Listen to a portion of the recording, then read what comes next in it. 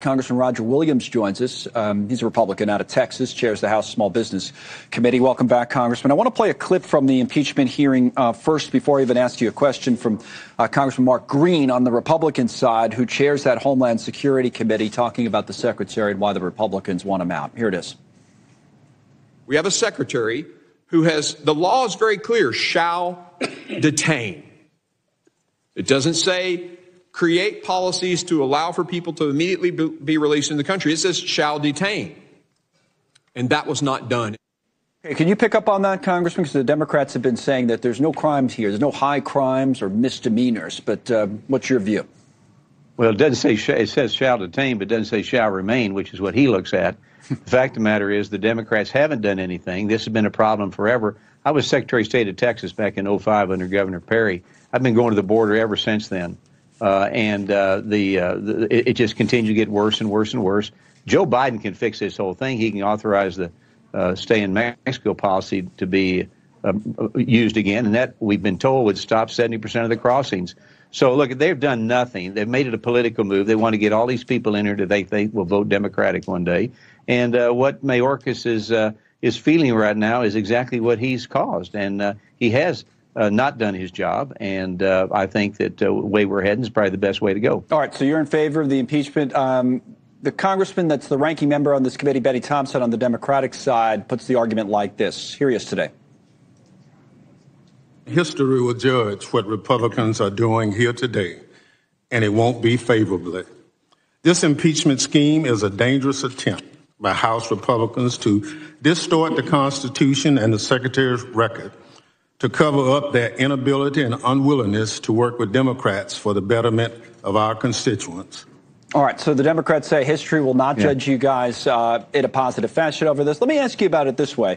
You know, we've been covering the situation, the standoff in Texas along the border there, as you know, this Shelby Park and the rest of it. And the Supreme Court came out and ruled the federal government could cut down that uh, razor wire, but then apparently the state wouldn't let the officials in, wouldn't give them access to do so. Some people said that was a, a violation of the law. So if Mayorkas is in violation, aren't they in violation of the law down there? And would you be in favor of well, something being done about that? No, here's the deal. The, the reason Texas haven't do what they're doing is because the federal government is not. The federal government is not defending Texas or Americans from an invasion of the enemy. That's the bottom line. And uh, Benny Thompson, I mean, what he says doesn't even make sense. Uh, the fact of the matter is, the reason we're doing this now is because they've ignored it, and all of a sudden it becomes an, a, an election gimmick to them, so they want to get all involved. And history's not going to judge us. History's going to show that we tried to try to adhere by the Constitution, tried to adhere by the rule of law, but this administration did not. But Texas, remember this, repeating myself, is fighting for its survival because the federal government has failed their job in defending against an invasion of the enemy. Okay, the other issue here is the border deal, right, which is separate from Mayorkas, but it's all tied together, of course, because it's all about immigration.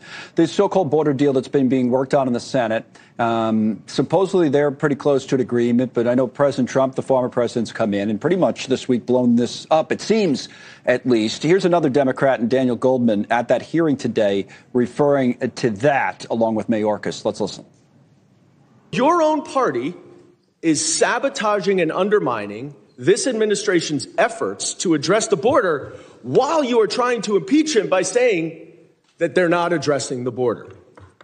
The hypocrisy is the least of it.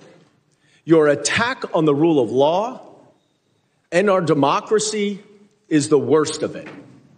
Now, how would you respond to that kind of shaping of the argument, given well, that, you know, the Republicans, uh, they could have a deal here, it seems, yeah. if, if they wanted one, no? Okay. All right. First of all, the rule of law is being thrown away by the Democrats, okay? So that, hold, that holds no water. The truth of the matter is, you don't need these hearings. You don't need all this if you just ex- uh, rule by the existing laws that we have that work through the years, you see? But again, they've made an election gimmick, so they're going to try to throw it on us, the, the Republicans. It's not going to work. And uh, but the reason we're here today is because they have ignored it, and uh, there is no rule of law in their world. There is in ours, and Texas again is trying to defend itself and keep and, and defend its people. You know, we were talking about this a little bit on the show yesterday, but you, Senator Lankford, who's the head Republican that's negotiating on this bipartisan uh, deal, he seems to be getting frustrated. Here's what he said in an interview over the weekend. He says the deal has a lot of the things you guys are looking for. There's no amnesty, there's more border agents, they're increasing detention beds, they're ending catch and release, they're speeding up the asylum screening process. So, the, I mean, the thing that I'm having trouble understanding isn't this a lot of what you wanted? Couldn't you have gotten no. a lot of what you wanted in this deal? And it just it seems like Trump comes in and just blows it up for so he well, can run on it. Okay, I'm against it. Okay, and Donald Trump coming in or not has nothing has not, nothing affected the, what my, my, decision. Okay. The fact of the matter is, just take one thing. Why is it uh, okay to give 5,000 people a day uh, the authority to break the law for crying out loud, and the next five thousand dollars, uh, five thousand people. It's, well, it's just about this average of people that would be coming in, right? And then they would shut the right. border so down. But, but, I guess the other in, side of it is that people say, well, you know what? The, now, if you do nothing, they're just going to keep coming at the numbers that look, they've been coming at, right? And why not okay, just get those things if, we just had on the screen if you can get them illegally? That's too many. Okay. Right. If five thousand come across, that's way too many. All right. Look at why don't we just go back to the laws that were written to begin with? Why don't we go back to HR two? That all they got to do is agree to that and it's taken care of, okay? But the fact of the matter is, to put a number in there that's okay to break the law when you've got thousands and thousands, maybe millions of people standing in line to do it the right way, what are we saying to them? But why do we want 5,000 freebies in here that do not have the best uh, uh, well, of America uh, at, at, heart? Why do we want that? Well, and I think the point is you could get a little bit of what you wanted. I mean, our border correspondent was just on there, Ali Bradley. She interviewed somebody, a congressman from uh, from Texas as well, Congressman Gonzalez, and his main point to her was, why not take a down payment on what you want now, and then if you do well in the election, you can get more then. But why, in other words, why why do nothing when you can get something? It's there for you if you want it. Well, I guess bit. I'm old school. I, am old school. I think you need to do what, what what the law of the land says to do, and sending 5,000 freebie people in here every day that. Uh, Many of them are sick. Many of them just don't speak uh, speak the language. Many are not coming over here to get a job. They're coming over here to hurt us. They're from China. They're from Russia. They're from Yemen. You name it. And why are these people coming over here? So the fact of the matter is, take a little now, take a down payment here. I love all my colleagues. They're smart people. But I've been on that border for a long time. I've been Texas Secretary of State. I've seen this this program before. This is the worst it's ever been. And you can't reward bad behavior in a country. You can't do it in America because you send the wrong message. I want to ask you one other uh, question, Congressman, a totally separate topic, what's been happening overseas before I let you go, if that's okay. We've uh, covered these three Americans who were, um, were killed in a drone strike, and their names are uh, William Rivers, um, Kennedy Sanders, Breonna Moffett, all Army reservists. Uh, uh, the president came out say he, today and said he has a plan to respond to this. We don't know what it is or if it's happened yet or it's going to happen soon. What should, what should he do in your, in your estimation? Well, I think when anybody kills an American service member like that, there needs to be retaliation, military retaliation. We saw it with Reagan. We saw it in many cases with Bush. It gets attention. We saw it with Trump. This guy, I think, what, what's he saying? Don't.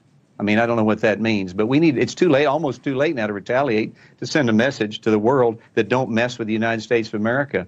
And I think that uh, these these young three these three soldiers, it's a tragedy what's happened to them. It should never have happened. We need to be better prepared.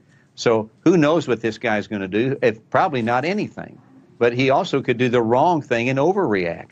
But I think we need to send a military response like we have in the past. Do not mess with the United States of America. You you you injure or you wound and you kill our soldiers, our young men and women. We retaliate immediately. Okay, Congressman Roger Williams, thank you again, sir. Thank you for coming thank on. You.